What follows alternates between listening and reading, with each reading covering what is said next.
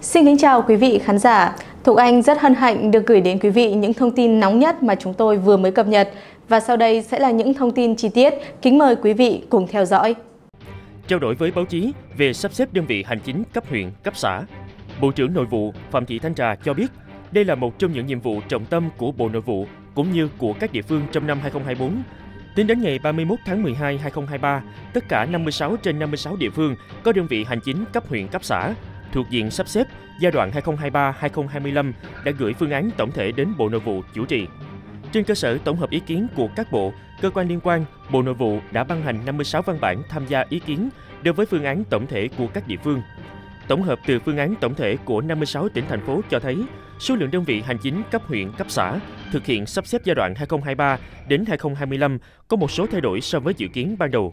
Theo dự kiến, giai đoạn 2023 đến 2025, cả nước có 33 đơn vị hành chính cấp huyện và 1.327 đơn vị hành chính cấp xã thuộc diện bắt buộc sắp xếp. Tuy nhiên, sau khi tổng hợp phương án tổng thể, tổng số đơn vị hành chính cấp huyện thực hiện sắp xếp là 50, trong đó có 11 đơn vị thuộc diện phải sắp xếp, 16 đơn vị khuyến khích và 23 đơn vị liền kề. Không thực hiện sắp xếp, 19 đơn vị do có yếu tố đặc thù, dự kiến sau sắp xếp, sắp nhập, cả nước sẽ giảm 14 đơn vị hành chính cấp huyện. Còn tổng số đơn vị hành chính cấp xã thực hiện sắp xếp là 1.243 đơn vị, trong đó có 738 đơn vị thuộc diện phải sắp xếp, 109 đơn vị khuyến khích và 396 đơn vị liền kề. Không thực hiện sắp xếp, 515 đơn vị do có yếu tố đặc thù. Dự kiến sau sắp xếp, sắp nhập sẽ giảm 619 đơn vị hành chính cấp xã. Qua những con số này, có thể thấy số lượng đơn vị hành chính cấp huyện, cấp xã thuộc diện khuyến khích sắp xếp do các địa phương tự đề xuất khá nhiều. Có đến 16 đơn vị hành chính cấp huyện và 109 đơn vị hành chính cấp xã không thuộc diện bắt buộc sắp xếp, nhưng các đơn vị đã tự đề xuất để sắp xếp lại. Bên cạnh đó, số đơn vị hành chính cấp huyện, cấp xã mặc dù thuộc diện phải sắp xếp nhưng qua rà soát, đánh giá nhiều yếu tố đặc thù về văn hóa lịch sử nên địa phương đề xuất không sắp xếp. Tổng hợp chung lại, số đơn vị hành chính cấp huyện, cấp xã sắp xếp, sắp nhập trong năm 2024 không có biến động lớn so với dự kiến ban đầu. Trên cơ sở phương án tổng thể, sau khi được hoàn thiện, các địa phương đang tập trung xây dựng đề án, tổ chức lấy ý kiến cử tri thông qua Hội đồng Nhân dân các cấp để trình chính phủ và theo đó trình Ủy ban Thường vụ Quốc hội xem xét, quyết định xong trước 30 tháng 9, 2024. Gần đây, trên mạng xã hội có thông tin về việc chuẩn bị sắp xếp, sắp nhập một số tỉnh. Bộ trưởng Phạm Thị Thanh Trà cho biết đây là vấn đề nhiều tỉnh, thành phố đang quan tâm và đặt câu hỏi với Bộ Nội vụ. Tuy nhiên, chúng tôi khẳng định là Bộ Nội vụ chưa tính toán hay đề xuất gì về việc sắp xếp, sắp nhập bất cứ tỉnh, thành phố nào, Bộ trưởng khẳng định. Thời gian qua, trên mạng xã hội đăng tải nhiều thông tin nói rằng tỉnh này sắp nhập với tỉnh kia. Tôi khẳng định đây là những thông tin không chính xác, không có căn cứ, khiến cho nhân dân một số tỉnh băn khoăn, làm ảnh hưởng đến tâm lý xã hội, Bộ trưởng nhấn mạnh thêm. Theo Bộ trưởng Phạm Thị Thanh Trà, có một số tỉnh như Bắc Ninh, Thừa Thiên Huế đang rất nỗ lực phấn đấu để đến giai đoạn 2026-2030 đủ điều kiện lên thành phố trực thuộc Trung ương. Đây là chủ trương của đảng theo tinh thần nghị quyết 06 NQ trên TVK của Bộ Chính trị về quy hoạch xây dựng, quản lý và phát triển bền vững đô thị Việt Nam đến năm 2030, tầm nhìn đến năm 2045 đang được chính phủ quan tâm, chỉ đạo thực hiện. Vì vậy, nếu tỉnh thành phố nào theo quy hoạch đủ các điều kiện, tiêu chuẩn để trở thành thành phố trực thuộc trung ương thì các cấp có thẩm quyền sẽ xem xét, quyết định.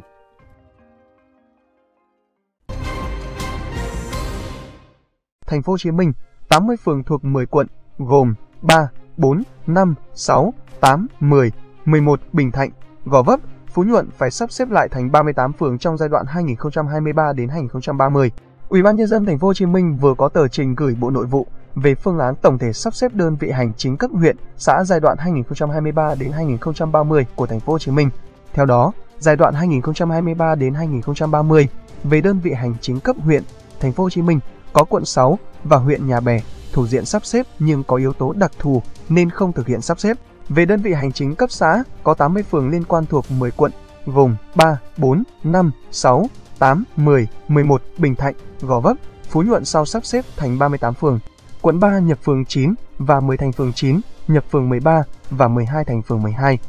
Quận 4 nhập phường 6 và 9 thành phường 9, nhập phường 8 và phường 10 thành phường 8, nhập phường 14 và 15 thành phường 15 Quận 5 nhập phường 2 và 3 thành phường 2, nhập phường 5 và 6 thành phường 5, nhập phường 7 và 8 thành phường 7, nhập phường 10 và 11 thành phường 11. Quận 6 nhập phường 2, 6 và 1 phần phường 5 thành phường 2, nhập phường 1, 3 và 4 thành phường 1, nhập phường 9 và 1 phần phường 5 thành phường 9, nhập phường 11 và 1 phần phường 10 thành phường 11, nhập phường 14 và 1 phần phường 13 thành phường 14. Quận 8 nhập phường 1, 2 và 3 thành phường mới tên Dạch Ông, nhập phường 8, 9 và 10 thành phường mới tên Hưng Phú, nhập phường 11, 12 và 13 thành phường mới tên Xóm Củi. Quận 10 nhập phường 6 và 7 thành phường 6, nhập phường 5 và 8 thành phường 8, nhập phường 10 và 11 thành phường 10. Quận 11 nhập phường 1 và 2 thành phường 1, nhập phường 4, 6 và 7 thành phường 7, nhập phường 8 và 12 thành phường 8, nhập phường 9 và 10 thành phường 10, nhập phường 11 và 13 thành phường 11. Quận Bình Thạnh nhập phường 5 và 1 phần phường 6 thành phường 5, nhập phường 7 và một phần phường 6 thành phường 7, nhập phường 11 và một phần phường 13 thành phường 11, nhập phường 2 và 15 thành phường 15, nhập phường 19 và 21 thành phường 19, nhập phường 14 và 24 thành phường 24. Quận Gò Vấp nhập phường 1, 4 và 7 thành phường 1, nhập phường 8 và 9 thành phường 8, nhập phường 14 và một phần phường 13 thành phường 14, nhập phường 15 và một phần phường 13 thành phường 15. Quận Phú Nhuận nhập phường 3 và 4 thành phường 4, nhập phường 15 và 17 thành phường 15. Theo Ủy ban nhân dân thành phố Hồ Chí Minh, mặc dù việc sắp xếp này sẽ làm tinh gọn bộ máy, phát huy tiềm năng lợi thế của các địa phương, nhưng số lượng sắp xếp lớn sẽ ảnh hưởng không nhỏ đến công tác quản lý nhà nước và phát triển kinh tế xã hội. Bên cạnh đó, đặc thù quận huyện, phường xã của thành phố Hồ Chí Minh có diện tích nhỏ nhưng dân đông, vượt nhiều so với quy chuẩn. Nếu nhập hai đơn vị hoặc ba đơn vị thành đơn vị mới cũng không đạt tiêu chuẩn diện tích theo quy định. Không chỉ vậy, sau khi sắp xếp các đơn vị hành chính có diện tích và quy mô dân số lớn hơn, khối lượng công việc nhiều hơn nhưng chế độ, chính sách cho cán bộ, công chức không tăng nên mục tiêu nâng cao hiệu quả, hiệu lực quản lý nhà nước sẽ không cao. Việc sắp xếp trong giai đoạn thành phố thực hiện nghị quyết 98 và đang sắp xếp khu phố, ấp cũng sẽ ảnh hưởng không nhỏ đến hệ thống chính trị cơ sở thành phố Hồ Chí Minh dự báo việc sắp xếp đơn vị hành chính cấp huyện, cấp xã là việc khó, nhạy cảm, liên quan đến nhiều người, nhiều ngành, tác động đến người dân, doanh nghiệp. Vì vậy, việc sắp xếp ngoài việc đúng theo quan điểm chỉ đạo còn phù hợp với thực tiễn của từng địa phương. Từ thực tiễn đó, Ủy ban nhân dân thành phố Hồ Chí Minh kiến nghị Ủy ban Thường vụ Quốc hội đồng ý cho thành phố Hồ Chí Minh vận dụng 7 yếu tố đặc thù để sắp xếp. Thời gian tới, Cà phê Lên TV sẽ triển khai nhiều video hấp dẫn về hỏi đáp từ hội viên, series kiến thức bất động sản, review khu vực hay dự án theo yêu cầu từ hội viên, tin nóng về hạ tầng. Những video này chỉ dành riêng cho hội viên của kênh Cà phê Lên TV. Trân trọng mời các bạn đăng ký trở thành hội viên ngay hôm nay để chúng tôi có động lực phát triển nhiều video hay và bổ ích hơn nữa.